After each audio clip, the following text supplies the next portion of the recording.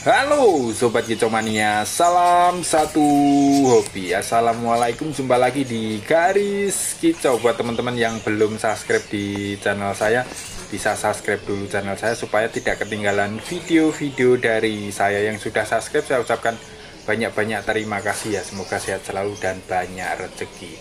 Nah ini ada satu burung teman-teman, ini baru datang Cuman saya sebenarnya nggak menyarankan ya membeli burung ini. Ini ukurannya cukup besar mungkin seukuran ayam ya teman-teman. Burung ini asli Jawa teman-teman. Ini kenapa saya tidak menyarankan untuk membeli burung ini? Karena burung ini termasuk salah satu burung yang dilindungi ya teman-teman.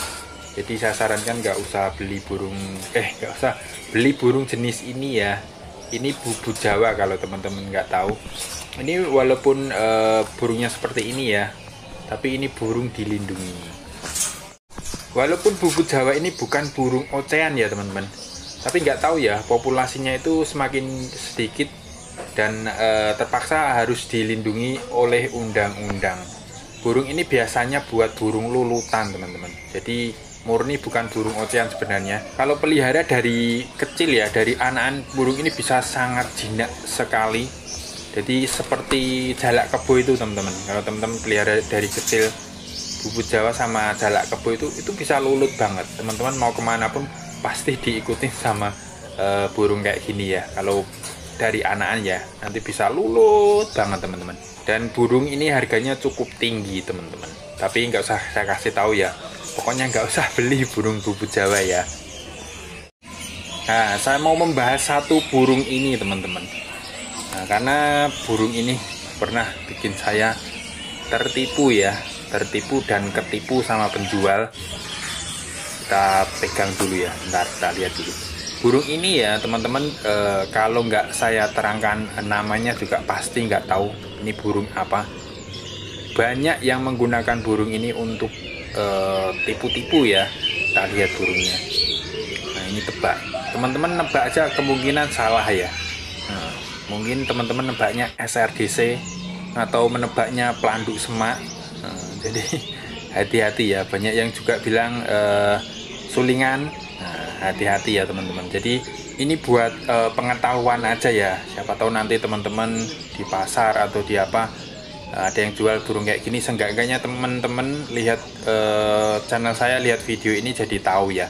Jadi biar nggak ketipu seperti saya ya ya sebenarnya penjual itu banyak yang jujur ya. Dan ada juga oknum ya. Satu dua penjual yang nakal. Dan kadang mungkin e, ngaku-ngakuin burung supaya cepat laku ya. Padahal burung tidak sesuai namanya. Karena mungkin burungnya dianggap e, unik sedikit. Banyak yang nggak tahu. Dan asal ngomong aja ya ini burung ini ini burung ini gitu ya. Jadi ini saya terangkan yang ini ya teman-teman. Ini kalau teman-teman nggak tahu ya ini adalah sulingan laut betina teman-teman. Sekali lagi sulingan laut betina atau teledean laut ya. Kalau yang jantan itu gambarnya seperti ini.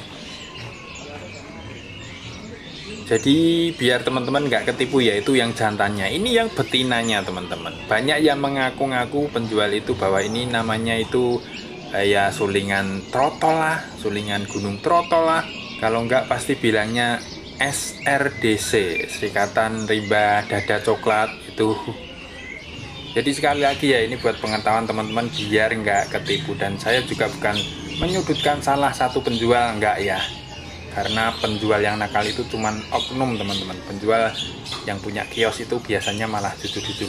Saya sarankan sih beli e, lebih baik ke kios ya. Mungkin punya lengganan atau sudah terbiasa beli situ Nah, itu malah lebih bisa dipercaya teman-teman daripada penjual yang mungkin baru ketemu sekali dua kali. Cuman kalau teman-teman yang sudah paham, sudah mudeng burung itu nggak apa-apa sih.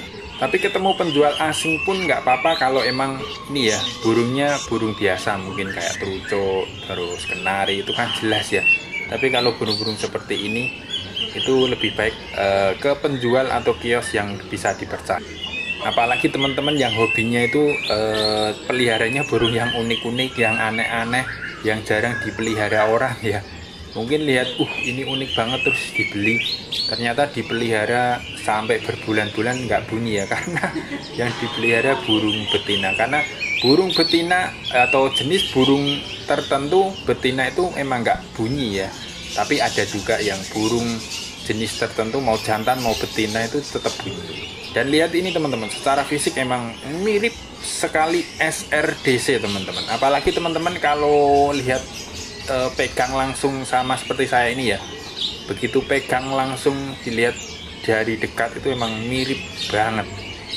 Oke kita masukkan ke sangkarnya lagi ya. Nah kita lihat lagi ya. Kalau sudah di dalam sangkar Tuh posturnya itu emang bener-bener Loh posturnya emang cakep ya Tuh. Kayak burung jantan gitu ya Tuh. Lihat posturnya bagus tuh. Tapi jangan tertipu ya teman-teman. Tapi emang kalau dilihat e, antara jantan dan betina itu bisa Bedanya itu bisa jauh banget ya. Untuk yang jantan itu warnanya itu bisa cantik banget. Biru laut eh, kombinasi warna putih. Tapi kalau yang betina itu benar-benar cuman coklat seperti ini ya. Jadi jauh banget warnanya antara jantan dan betina. Kalau teman-teman yang sudah biasa pelihara burung udah biasa sering pelihara burung yang macem-macem pasti sudah langsung tahu ya kalau ini itu burung e, sulingan laut betina. Oke mungkin itu ya teman-teman.